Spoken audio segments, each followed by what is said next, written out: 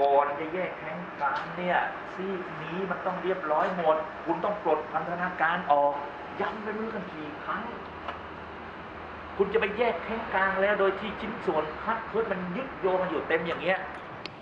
สองข้างนี่มันต้องปลดบอกมาตั้งนานฝึกเรามาอย่างนี้มาตั้งนานจนปากมันจะเป็นชัวร์ใช่ไหมเราถูกแล้วเราเอาของฝั่งนี้พี่บอกให้เอาแหวนไม่มันจะไปแยกได้ยังไงแหวนไม่มีจุดยึดโยงอยู่ตรงนี้อีกเยอะแยะมากมาย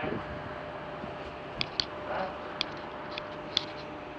คุณพอมันออกมันก็บังคับมันก็ออกได้ แต่ว่ามันมันไม่ได้ถูกวิธีการเลยเลย ไอ้ตรงคุณจะปลดแข้งกลางเอาชิ้นส่วนที่อยู่ตรงกลางออกเนี่ย พัฒนาการทั้งหมดต้องเอาออกก่อนจากท็อปมาสู่ที่ซ้ายที่ขวา คุณต้องปลดพัฒนาการของมันทั้งหมด แล้วถึงจะเหลือเฉพาะชิ้นส่วนที่มันถือแข้งกลางมันหนีบไว้ผมไม่รู้ข้างไหนมันจะออกอืมไม่ไม่ใช่ก็คือ พอเราออกตรงนั้นเสร็จปุ๊บเนี่ยนะ อันที่จริงเนี่ยของของแต่ละยอดเนี่ยบางเอิญเราไม่มีเครื่องมือพิเศษให้มันครบทั้งหมดมันมีเครื่องมือแยกแข็งอยู่วิธีการเคาะออกเป็นวิธีลูกทุ่งที่ช่างเขาใช้กันอย่างอย่างของไอ้ตัวเนี้ยเดี๋ยวเดี๋ยวผมจะให้คุณใช้วิธีที่ถูก ก็คือเดี๋ยวจะใช้เครื่องมือแยกแข็งออกมา แต่ว่าบางคนก็บอกว่าอาจารย์สอนด้วยวิธีแบบนี้ปุ๊บเนี่ยเวลาผมไปทำผมไม่ได้มีเครื่องมือพิเศษแบบอ้าวก็ได้ แต่ว่าแต่ว่าเคาะมันต้องเคาะอย่างถูกวิธีด้วย มันจะเคาะออกข้างไหนออกข้างไหนแล้วว่า การประกอบของแต่ละรุ่นมันจะไม่ไม่เหมือนกัน มันจะมีบางรุ่นให้ประกอบแข้งซีกขวา บางรุ่นประกอบแข้งซีกซ้าย ถามว่าถ้าประกอบผิดข้างมันเอาเข้าไปได้ไหม ได้ แต่มันจะมีปัญหายุ่งยากบางเรื่องมากกว่า ซึ่งมันไม่ มันไม่ได้มีนิมันไม่ได้มีนิยามนะ ว่ารุ่นนั้นต้องเอาต้องเอาประกอบข้างขวาข้างซ้าย แต่ของยามาฮ่าเนี่ยโดยส่วนใหญ่เกือบทั้งหมดของเขาเนี่ยแยกขวาฉีกแข้งที่ขวาออกจากข้างซ้าย แต่ตอนประกอบเนี่ยประกอบซ้าย ส่วนซูกิประกอบในแยกซ้ายแล้วก็ประกอบซ้าย ทั้งหมด แต่แต่ไอตัวของมันหน้าโดยส่วนใหญ่ครับเกือบทุกรุ่นของเขาเนี่ยนะให้ประกอบกับแข้งซีกบาง แข้งกลางมันจะมีหนาบางอยู่ ประกอบแข้งซีกบาง ยกเว้นรุ่นที่มีกลไกล็อกตำแหน่งเกียร์อันนั้นคุณต้องเอากลไกล็อกตำแหน่งเกียร์หันขึ้นมาข้างบน เพราะว่าไอ้กลไกล็อกตำแหน่งเกียร์เนี่ยมันจะมีแหวนมีอะไรรองอยู่ถ้าเกิดว่าคุณเอาไปอยู่ข้างล่างเสร็จปุ๊บใช่ไหมมันโอกาสจะร่วงลงไปเขาก็เลยต้องจับให้มัน ให้มันใช่ไหมครับด้วยแรงของโลกเนี่ยมันอยู่แบบนี้แล้วก็อีกฝาออกมาประกบเพราะเราเราต้องใช้หัวคิดเหมือนเหมือนคุณทางประเกณฑ์อะผมปล่อยให้ไอ้คุณลองทายดูบางคนก็คุณออกไปทายข้างยังมีชิ้นส่วนอยู่เต็มไปหมดอะแล้วทำไมอะไอ้ฝาอีกข้างมันโล่งโจ้งอะทำไมคุณไม่ทามันต้องคิดตรงนี้ด้วย เพราะว่าวันนี้ผมแนะนำเราอยู่ใช่ไหมแต่วันที่เราไปเปิดร้านเนี่ยคุณต้องโทรมาถามผมอะใช่ป่ะเพราะคุณต้องคิดคุณต้องต่อยอดคนที่ไปได้แชมป์ระดับนั้นมานะ ผมสอนเขาไปแค่นี้แต่เขาไปต่อยอดได้ ไม่ใช่พอคุณขายน้ำน้ำตัวไม่ออกแล้วคุณมาบอกว่าจานขายไม่ออก แล้วคุณจบอย่างนั้น มันก็เลิกทำมากินอาชีพนี้ได้เลย นี่มีลูกพี่คนหลายคนอย่ๆที่ไปเปิดอะที่ช่างหนูเนี่ย ปัญหามันก็จะตัดออกไปเลยนะสกรูอ้าวในเมื่อไอ้ร่องแขกไอ้รุ่นเก่ามันจะไปยึดด้วยด้วยสกรูหัวร่องแขกหมดพอมันเยินเสร็จปุ๊บเยินมันเกิดจากบางทีคุณเลือกไอ้ไอ้ไอ้ปลายปลายไขควงอะ มันมันไม่เหมาะใช่ไหมจริงแล้วแม้แต่ไขควงที่คุณใช้ไขธรรมดาเนี่ยคุณรู้ว่าจริงมันทำเป็นตัวทีก็มีนะเพราะไอ้ตัวไหนที่คุณเห็นว่ามันสุดฝืนมันเอาไม่ออกปุ๊บนะ คุณต้องเปลี่ยนเครื่องมืออ่ย่างแข้งกลางเนี่ยมันมันไม่สามารถใช้แรงขันมือปกติแล้วจบ มันแน่นยังไม่พอ มันไม่สามารถซีนการรั่วพวกนั้นได้ เพราะพวกนี้คุณต้องไขแน่นด้วยสุดมือของคุณก่อน แล้วคุณจะเป้งใช้ควงต่อประมาณ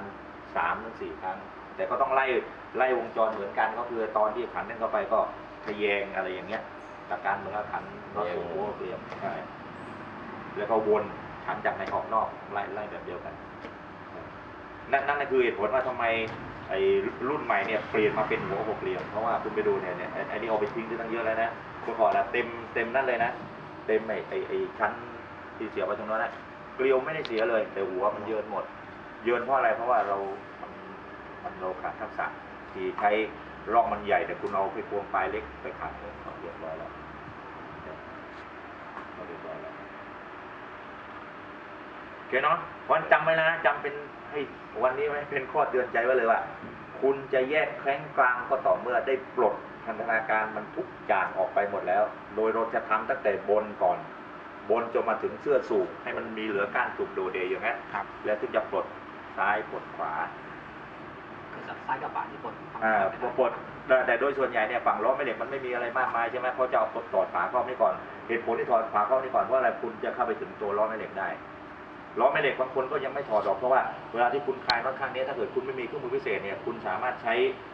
หยุดที่ตัวล้อแม่เหล็กให้มันอยู่กับที่ตอนที่คุณคลายน็อตฝั่งนี้ได้น็อตบางตัวที่คุณคลายไม่ออก คุณสามารถเอาตัวไอ้พวกตอกอะมาเป็น impact impact มันดีไงมันก็คือมัน มันออกแบบกระตุกอะกระตุก แต่จริงแล้วเเขาไม่ค่อยแนะนำมาให้มาใช้กับตัวตัวเราเข้าเวียงเท่าไหร่เพราะคุณอย่าลืมนะเราเข้าเวียงของมอไซค์เนี่ยนะเราที่โผล่ไปสองข้างเนี่ยมันเป็นคนละชิ้นกันเพราะถ้าเกิดคุณใช้แรงแบบ impact เมื่อไหร่ปุ๊บโอกาสที่จะศูนย์เซนเตอร์เข้ามาเนี่ยอะไรไม่ตรงเนี้ยเยองพอเยื้องแล้วมันจะหมุนขัดขัดตัว แล้วลูกปืนจะไปไปก่อนเลยเบ้าเบ้าเนี่ยเสียหมดเลย เพราะมันมันไม่ได้อยู่ในศูนย์กลางไงเพราะในตรงนี้เวลาที่เอาออกเนี่ยเคาะที่ห้ามโดยเด็ดขาดบางคน ลูกปืนมันติดอยู่กับเสื้อ ไปจับกระแทกกับกับไม้พวกเนี้ย หลุดไหมหลุดแต่ศูนย์มันเสียถ้าถ้าเป็นไม่มากก็ยังไม่เป็นไรแต่ถ้าเสียมากๆปุ๊บทีนี้ก็กลายเป็นอีกเรื่องหนึ่งมันไม่เหมือนแต่ไปเพลาเพลาก็เวียงของเครื่องยนต์ใหญ่เครื่องใหญ่มันหล่อเป็นชิ้นเดียวมาเลย เพราะในตัวนั้นเนี่ย โอกาสที่มันจะบิดเยื่อมศูนย์ไม่มี ยกเว้นพังก็คือหักไปเลย เพราะเราเขาย่างของมอเตอร์ไซค์เนี่ยมันมันต้องห้ามให้ให้มีแรงไปกระแทกเป็นลักษณะไปกระชากนะแม้จริงแล้วในการเพลสออกเนี่ยเขาเขาไม่ค่อยแนะนำเท่าไหร่เพราะว่าการเพลสถ้าเกิดว่าคุณคุณวางเซนเตอร์ อะไรพวกมันดีเสร็จปุ๊บมันก็ไม่มีปัญหาแต่ว่าถ้าเกิดคุณคุณคุณวางตำแหน่งไม่ดีปุ๊บมันมีโอกาสที่จะทำให้เสียศูนย์หรือมีการยุบตัวเข้าไปของของตัวตับเป็ดคุณอย่าลืมนะไอ้ตรงนั้นอะ มันส่งแรงกดอัดลงไปเนี่ยด้วยฟริกชั่นด้วยแรงกดบีบใช่ไหมถ้ากดมากปุ๊บเนี่ยนะไอตัวตัวตับเป็ดข้างเนี้ยไอตัวตุ้มน้ำหนักข้างเนี้ยมันอาจจะถูกลื่นระดับไป มันจะเป็นหนีบตัวการกันไม่หมุนอีกซึ่งเป็นแก้ยากมันเขาก็เลยไม่ไม่ต้องการให้ไปยุ่งอยู่กับตัวอัดจากเราบนนั่นแล้วเราล่างเข้าที่มันจะไม่ไปทำเนาะอันนี้เดี๋ยวไม่รู้จะยุบเข้าไปได้หรือเปล่าแต่ลองลองเคาะก่อนแล้วกัน ให้ชิดก่อนแล้วก็แล้วก็มาก่อนข้างนี้เรียบร้อย แล้วก็แล้วก็จำไว้เลยนะ พอคุณตอนตอนขากลับคืนเข้าไปนะประกอบกับคืนเรียบร้อยปุ๊บพออประกบแข้งเข้าไปเสร็จเรียบร้อยตรวจสอบไว้ก่อนเราก็เหวี่ยงหมุนได้ไหมเพาเกียร์หมุนได้ไหมถ้าเกิดมันหมุนไม่ได้ คุณไม่ต้องเดินหน้าเลยไอ้สิ่งที่คุณมาทำมาทั้งหมดมันใช้ไม่ได้ มันต้องแก้ไขก่อน ถ้ายังยังไม่ยึดเข้าไปมันยังหมุนไม่ได้แล้วคุณคิดว่าตอนยึดมันจะขันได้เหรอไม่มีทางพอขันยึดเข้าไปมันจะบีบแน่นเข้าไปอีกนะแล้วก็พออ้าวเช็คดูหมุนหมุนได้คล่องแล้วที่เขาให้ค้างไว้ที่ตอนเนี่ยเกียร์ว่างก็ด้วยเหตุผลเพื่อเราจะได้ตรวจสอบได้ง่ายไงถามว่าถ้าไม่ใช่เกียร์ว่างเนี่ยมันประกอบได้ไหมก็ได้ก็ไม่ว่าอะไรแต่ว่า เวลาเราหมุนมันจะหนักมือเราอันนี้เขาจะได้ตรวจสอบว่าใช่ไหมหมุนพอขับได้พอตามไม่มีการหมุนตามมันจะเอ่อเช็คสะดวกแล้วก็เบามือนะ แล้วพอประกบแข้งการเสร็จปุ๊บทุกเช็คว่าทุกเราหมุนได้นะ คุณต้องขันยึดตรงนี้ให้เรียบร้อยก่อน ขันยึดเสร็จปุ๊บตรวจสอบมาอีกคนนึงว่ามันยังยังหมุนอยู่นะเพราะเพราะหลายตัวพอเอายึดแน่นเข้าไปปุ๊บมันมันล็อกอีกแล้วมันไม่หมุนอีกแล้วก็ต้องมาแก้จนหมุนได้แล้วถึงคุณจะเดินหน้าต่อไปไม่งั้นเนี่ยสิ่งที่คุณทำมาทั้งหมดอย่าไอไอตัวนี้เมื่อวาน ประกอบนี่ก็นี่ก็ถอดประกอบเสร็จสับเรียบร้อยไปไปเรียบร้อยนะประกอบครั้งแรกพอยึดแข็งปุ๊บไม่หมุนเลยเนี่ยหลายไออีกคนนึงก็พยายามมาใส่เสื้อสูทผมบอกจะใส่เข้าไปทำไม คุณใส่เสื้อสูทเข้าไปตอนนี้มันทำงานได้เปล่าไม่ได้ใช่มันเราไม่หมุนอาจารย์เออเราไม่หมุนมันก็จบอยู่แค่ตรงเราไม่หมุนเพราะนายต้องแก้ไอ้ตรงที่ไม่หมุนก่อนนะโอเคเนาะช่างยนต์มันต่างตรงเนี้ยครับที่ผมบอกไว้อะ เชื่อมเนี่ยคุณเชื่อมยังไงขี้เป็ดมันก็เป็นผลงานออกมาเป็นเป็นเชื่อมใช่ป่ะแต่ของเราเนี่ยต่อให้คุณทำดีสะอาดเอี่ยมแค่ไหนนะหล่อลื่นอย่างดีนะ แต่ถ้าผลมัน work มันมันทำงานไม่ได้จบเลย ผลลัพธ์คือศูนย์มันมันต่างกันตรงเนี้ยนะอ้าวยุบเข้ามาใหม่แล้วก่อนชิ้นนี้คราวหน้าสามโลนะ สามโลแล้วผู้ใหญ่ เนี่ยถ้าถ้ามีแผ่นล็อกเกียร์ตรงนี้ขึ้นมาเมื่อไหร่ปุ๊บนะเราต้องประกอบขันในด้านที่มีล็อกเกียร์ขึ้นมาข้างบนด้านบนใช่ไหมเออแต่ว่าไอ้แผ่นล็อกเกียร์เนี่ยการออกแบบในแต่ละยี่ห้อไม่เหมือนกันนะครับของยามาฮ่ามันจะอยู่กลางๆมันจะอยู่ช่วงกลางๆอันนั้นก็ไม่ไม่มีผลอะไรใช่ไหมอ๋ออันนั้นก็ใส่ตามลำดับหรือใส่ทั้งชุดเออก็ก็ต้องคืออ๋อประกอบแล้วก็ ประกอบตามลำดับแล้วใส่ลงไปทั้งชุดใช่ป่ะครับคือคือถ้าถ้ามันอยู่ตรงกลางมันก็ไม่ใช่อยู่เงื่อนไขของของของฮอนด้าแล้วฮอนด้ามันมันมันเงื่อนไขมาอยู่นี้เพราะว่าถ้าเกิดคุณเอานี้ลงล่างเนี่ยมันไม่ใช่มันประกอบไม่ได้ แต่ว่าเราจะตรวจสอบตรงเนี้ยลำบากอ๋อ เพราะว่าทีแรกตอนตอนถอดมาก็อยู่ฝั่งโน้นแล้วนี่หมูมาใช่หรือมาไว้ฝั่งไอ้นี่อันนี้มันมีตัวตัวแผ่นล็อกเกียร์ตัวนี้ไงที่ผมบอกไว้ครับแผ่นล็อกเกียร์เนี่ยถ้าเราไปประกอบอยู่ข้างล่างเนี่ยเราจะเราจะเช็คตำแหน่งมันจะลำบากนิดนึง เนี่ยแล้วแล้วไอ้ตรงเนี้ยให้ให้คุณสังเกตปุ๊บใช่ไหมให้คุณสังเกตว่าเอ่อเอ่อเวเวลาที่เราประกอบมันจะมีตัวตัวจริงแล้วมี L มี R พวกนั้นอยู่ด้วยอ๋อ เออที่มันเขียนไว้ ใช่เพราะว่าจริง ๆ ถ้ามันอยู่ด้านล่างมันก็ถอดไอ้ไอ้ตัวนี้ไม่ได้ ครับ มันก็ใส่พอใส่ L L ก็คือตัวที่อยู่ข้างซ้ายครับ ข้างขวาเพราะตัวไหน นั่นแหละทั้งเพลาเลยทั้งทั้งและไม่ไม่ใช่ เดี๋ยว อันเนี้ยมันไม่ใช่ออกทั้งชุดรถที่มีตั้งแต่มาสี่เกียร์ขึ้นไปปุ๊บเนี่ยนายต้องเอาแกนแกนกำปูออกแล้วก็ดึงกำปูออกมา มันใส่แค่สองเพลาเข้าไปนะใส่สองเพลาใช่ไหมใส่สองเพลาเอากำปูใส่เอาลูกเบี้ยวใส่จัดกำปูมาเข้าร่องแล้วใส่แกนกำปูทีหลังสุดเนี่ยนายดึงแกนออกมาเลย ดึงแกนก่อนเออเออเออแล้วก็ดึงกล้ามปูออกมากล้ามปูแต่ละตัวแต่ละตัวอย่างของใครของมันต้อง ตรวจเช็คต้องดูไว้นิดนึงไอ้ไอ้นี่ประกอบไม่ไม่ไม่ได้ถูกข้างนะ ประกอบมันมันจะอยู่ข้างรถเอาตรงนี้ไม่เป็นไรเวลาดึงจะดึงออกปุ๊บเนี่ยแค่เคลียร์เอาลูกเบี้ยวขึ้นมาก่อนเออลูกเบี้ยวเนี่ยมันหมุเขี่ยให้มันออกจากร่องเนี่ยเอาออกได้มาได้เลยลูกเบี้ยวลูกเบี้ยวออกไม่ได้ได้ได้เออติดเอาไว้ดูมุมนี่มึงดูมุมนี่มันมีมุมนิดเดียวอะเอาเอาเอาสองเพลาขึ้นมาก่อนก็ได้ตอนเนี้ยเออนั่นแหละเออแค่นั้นให้หลุดออกมาระวังลูกเดียวตก เอาวางวางวางชุดเกียร์ลงไปก่อนอ้าวดูดงดูได้หมุนหมุนหมุนมุมตัวนี้ลูกเบี้ยวมันออกไม่ได้ยากเลยเห็นยังครับ ไม่ได้ติดเลยนะไม่ได้ติดอะไรเลย แต่คุณต้องหมุนให้มันอยู่ตรงตำแหน่งนั้นอ๋ตอรงนั้นตำแหน่งนี่มันมีร่องอยู่ มันมีร่องของมันอยู่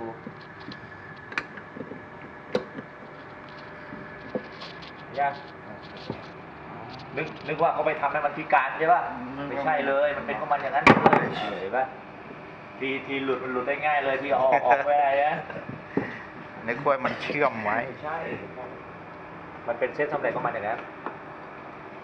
ก็จะมาทำทีหลัง แล้วแล้วถ้าคุณไล่ที่ลูกเบี้ยวคุณก็เนี่ยเอาเอาเอาลูกเอาลูกเบี้ยวลูกเบี้ยวมาไล่นะเดี๋ยวเราดันกันไปนิดนึงร่องร่องที่ลูกเบี้ยวมันมีอยู่ลูกเบี้ยวอยู่สามสามร่องใช่ไหมเออสามร่องปุ๊บเนี่ย เอาดูดูดูดูร่อง ร่องล่างสุดเอาดูรอบตัวเนี่ย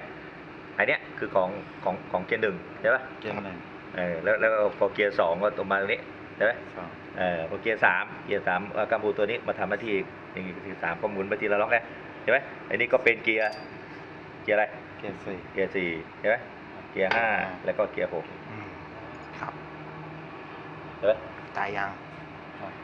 เมื่อกี้มันถามผมอยู่ เมื่อเมื่อกี้ผมงงมาแล้วเออ เดี๋ยวปิ๊กว่าปิ๊กว่าเดี๋ยวตำแหน่งเนี่ยไอ้ไอ้ไอ้ไอ้ตัวนี้ก็คือบังคับที่กล้ามปูใช่ไหมครับร่องที่กล้ามปูพอนายหมุนมาตรงนี้ปุ๊บเนี่ยเนี่ยนี่เป็นเอ่อกล้ามปูมาอยู่ตรงนี้เนี่ยไอ้ตัวเนี้ยมันเสียบเสียบมาล็อกนี้เดี๋ยวปะเออพอพอเกียร์สองเกียร์สองนายมาดูนะเป็นกล้ามปูตัวล่างใช่ปะกล้ามปูตัวล่างเลยจิ้มมาอย่างนี้เนี่ยไอ้ไอ้กล้ามปูตัวตัวที่อยู่ล่างสุดครับจิ้มมาอย่างนี้เห็นไหมเออพอเกียร์เกียร์สามมาที่มาที่กล้ามปูตัวบนนี้จิ้มมาที่ครับเกียร์สามเห็นไหม ต่อไปเกียร์สี่